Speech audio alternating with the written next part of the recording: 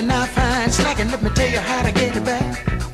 Not with candy and flowers, but by giving her the love she lacked.